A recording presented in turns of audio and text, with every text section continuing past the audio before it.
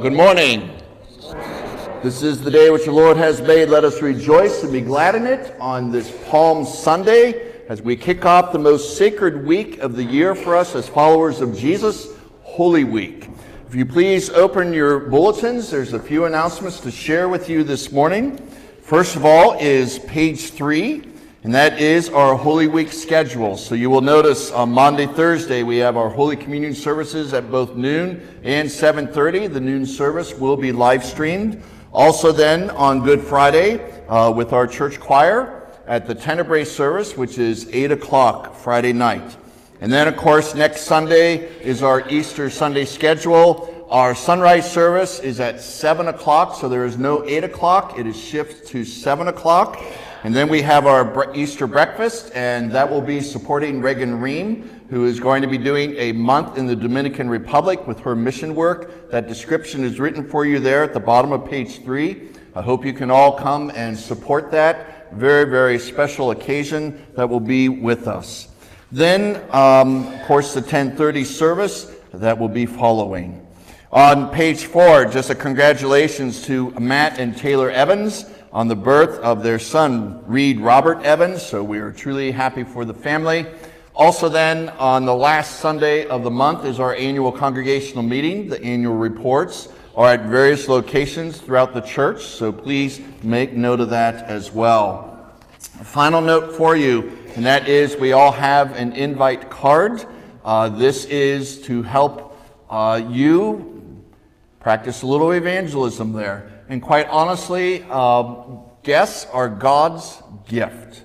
And so our win, our goal is for 10 first-time guests to come to the church here. And we do this for, for primarily two reasons.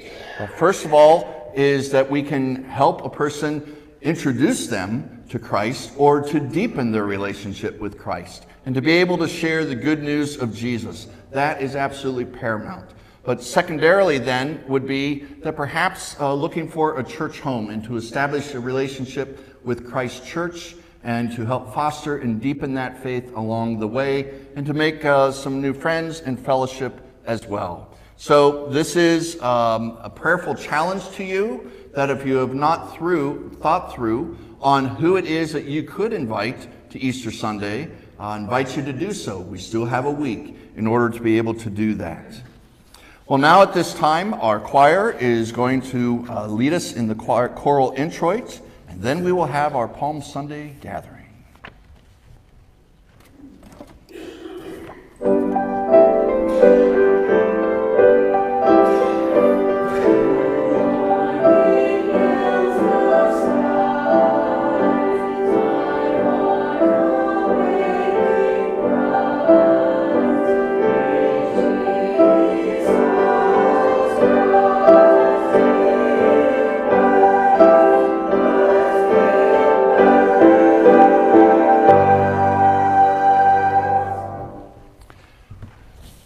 Please turn with me to your bulletin insert for the gathering. I invite you to stand at this time.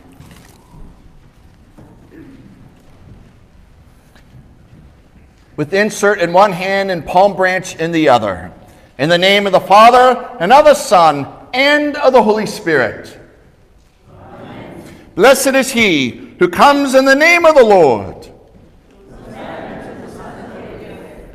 Mercifully assist us, O Lord God of our salvation, that we may enter with joy upon the contemplation of those mighty acts whereby you have given us life everlasting. Through your Son, Jesus Christ our Lord. Amen. Now, after Jesus had said this, he went on ahead going up to Jerusalem. And when he had come near Bethphage and Bethany at the place called the Mount of Olives, he sent two of the disciples, saying, Go into the village ahead of you and as you enter it, you will find tied there a colt that has never been ridden. Untie it and bring it here. If anyone asks you, Why are you untying it? just say this The Lord needs it. So those who were sent departed and found it as he had told them. And as they were untying the colt, its owners asked them, Why are you untying the colt? And they said, The Lord needs it. Then they brought it to Jesus. And after throwing their cloaks on the colt, they set Jesus on it. And as he rode along, people kept spreading their cloaks on the road.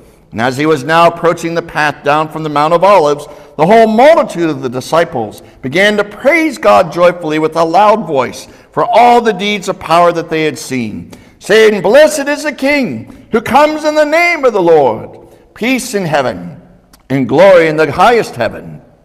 Some of the Pharisees in the crowd said to him, Rabbi, teacher, order your disciples to stop. And he answered, I tell you, if these were silent, the stones would shout out. The Lord be with you. With you. Let us give thanks to the Lord our God. Please raise your palms. We praise and thank you, O God, for the great acts of love by which you have redeemed us through your Son, Jesus Christ our Lord. On this day, he entered the holy city of Jerusalem in triumph and was acclaimed Son of David and King of Kings by those who scattered their garments and branches of palm in his path. We ask that you bless these branches and those who bear them and grant that we may ever hail him as our Lord and King and follow him with perfect confidence through the same Jesus Christ our Lord, who lives and reigns with you in the Holy Spirit, one God, now and forever. Amen. Amen. Let us go forth in peace. In the name of the Lord. Hymn 344, all glory, Lord, and honor.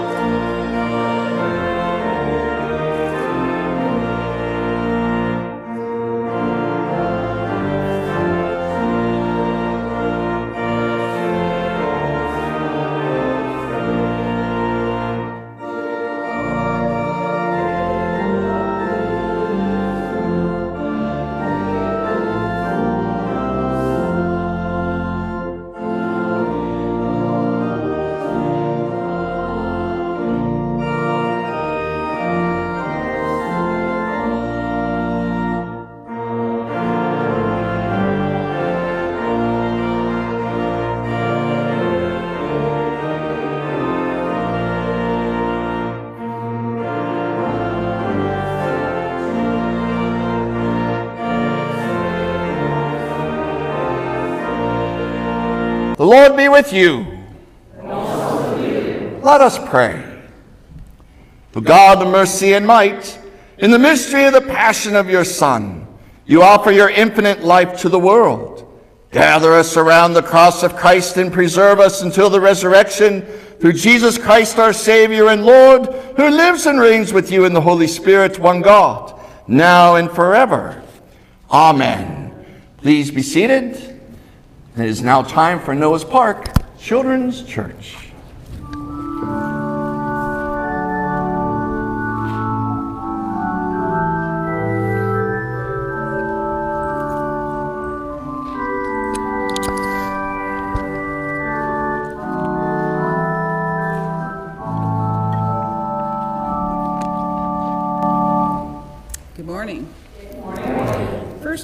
Comes from the book of Isaiah, the 50th chapter. The Lord God has given me the tongue of a teacher, that I may know how to sustain the weary with a word. Morning by morning he wakens, wakens my ear to listen as those who are taught. The Lord God has opened my ear, and I was not rebellious. I did not turn backwards. I gave my back to those who struck me, and my cheeks to those who pulled out the beard. I did not hide my face from insult and spitting. The Lord God helps me, therefore I have not been disgraced. Therefore I have set my face like flint, and I know that I shall not be put to shame. He who vindicates me is near. Who will contend with me? Let us stand up together. Who are my adversaries? Let them confront me. It is the Lord God who helps me, who will declare me guilty. Doing, doing the right thing. And that's the whole point that Jesus was bringing up. When you and I are faced with a situation, Jesus will ask you the question what does it look like to do good in this scenario? What is doing the right thing for you? You see, being right is all about you, but doing good, doing the right thing is about the other person. And I think that's what Jesus is driving home towards. Jesus is helping us understand what does love require of us. So, the genius of Jesus, he makes the profound so painfully obvious. With each of his encounters, he made the right thing to do so clear. Do the good that is right in front of you, knowing that's the right thing to do. It may seem simple, but it's a stroke of genius. And that then, with the genius of Jesus, brings us to Holy Week. Today, we celebrate Christ's triumphal entry into the holy city of Jerusalem. People waving palm branches, blessed is he who comes in the name of the Lord. They celebrate him as king, as Messiah. He will deliver them from the power of Rome. But what they don't understand is Jesus came to deliver them from an even greater power. And you and I as well that of Satan and of sin and of death. On Monday, Jesus goes to the temple and he overturns the tables of the money changers as the religious authorities are cheating the people. He says, No more of this, for my Father's house is to be a house of prayer. On Tuesday, then, he tells them parables and he warns the people about the coming destruction of the temple, which happens indeed in 70 AD. On Wednesday, we don't know what went on. The four Gospels, Matthew, Mark, Luke, and John, are silent. On Thursday, on Thursday, we see Jesus in the upper room with his 12 disciples, and there they are during the Passover meal. Christ introduces the very first Holy Communion. And then they depart from that room. And we have the depiction that is in our window of at the Garden of Gethsemane, Jesus and, as you see, uh, the three closest disciples, his inner circle, sleeping on the job Peter, James, and John, and then the city of Jerusalem in the background. Christ is in the Mount of Olives. This is an incredible window that we have here, folks. It teaches us so much. See, if, if you're in boot camp, say at Parris Island or in San Diego, in becoming a Marine, your final days are what's known as the crucible, in which you go without sleep for a long period of time, without eating for a long period of time. And your physical exertion, it is brutal. But if you make it, you become a Marine. That is their crucible, their make or break moment. And that's what this is for our Lord Jesus. He doesn't have to go through this for us. Really doesn't. And so he says to God in prayer, I mean, he is sweating bullets, literally drops, droplets of blood, as Luke tells us. And the whole point here is this Father, let this cup pass from me, this cup of suffering, yet not my will, but your will be done. Talk about trust, faith, grit, and guts. And then Friday, this coming Friday, Good Friday.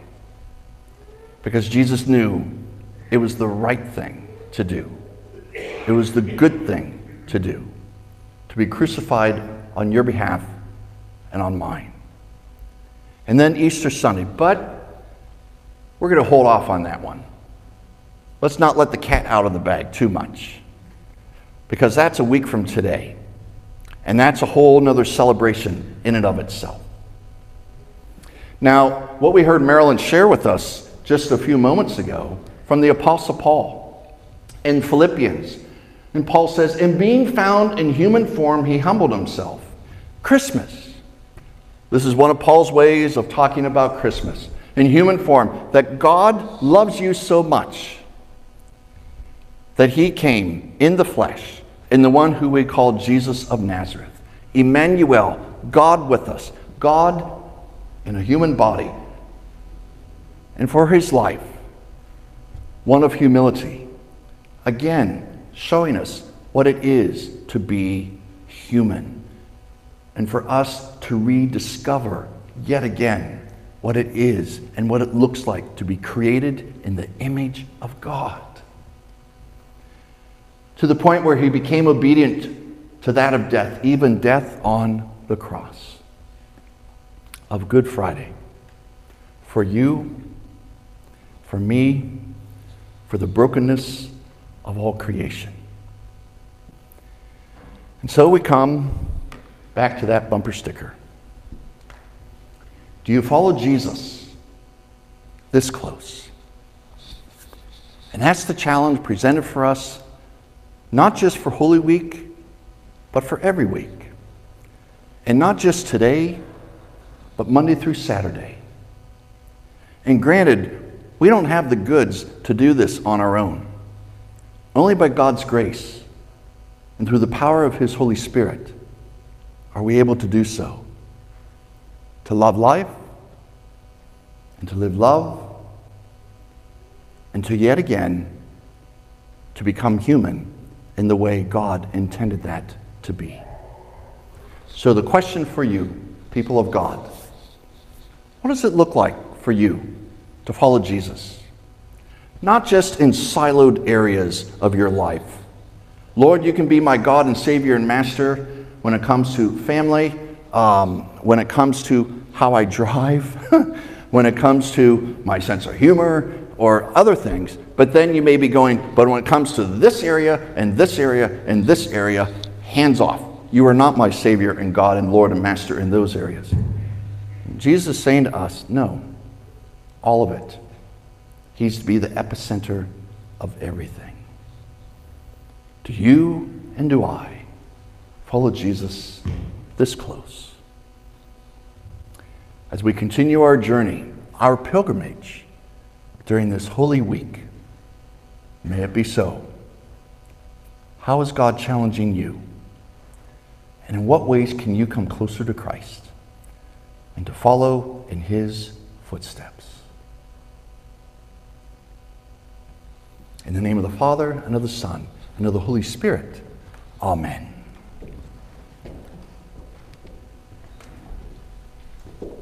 Hymn 323, please stand.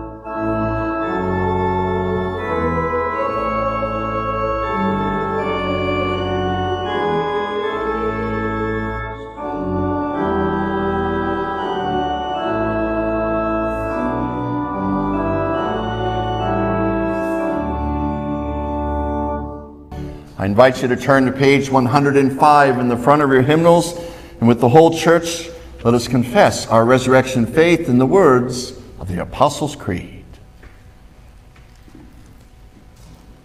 I believe in God the Father Almighty, creator of heaven and earth. I believe in Jesus Christ, God's only Son, our Lord, who was conceived by the Holy Spirit, born of the Virgin Mary, suffered under Pontius Pilate was crucified, died, and was buried. He descended to the dead. On the third day, he rose again. He ascended into heaven. He is seated at the right hand of the Father. He will come to judge the living and the dead. I believe in the Holy Spirit, the Holy Catholic Church, the communion of saints, the forgiveness of sins, the resurrection of the body, and the life everlasting. Amen the whole people of God in Christ Jesus. Let us pray for the church, those in need, and for all of God's creation. Lord Jesus, shepherd and guardian of our souls, on this Palm Sunday, teach us to number our days aright, that we may gain a heart of wisdom. We pray, Lord, for our sisters and brothers in Christ in Ukraine and surrounding countries. We pray, Lord, for peace. We pray on behalf of Joel Parker and Sonny Lammers, Laura Lee Todd, A.J. Wiseman, Myra Friesner, Dakota Nyheiser, Jeff Temple, Betty Weddle, Mike Arn, Bud Menken, and Art Bauer. We give you thanks, Lord, for the gift of new life and Reed Robert Evans. And so, Father God, may your word be a lamp to our feet and a light to our path.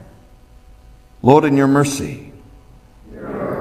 Into your hands, gracious God, we commend all for whom we pray, trusting in your mercy through Jesus Christ, our Savior. Amen. The peace of Christ be with you always. Please remain where you are standing, but share the peace with those who are around you. God's peace.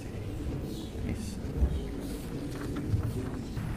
Reminder that our offering boxes are at both exits. If you wish to um, give offering to continue the ministry, we ask that uh, you can do so online by stmarkslutheranvw.com or text 419 273 9947.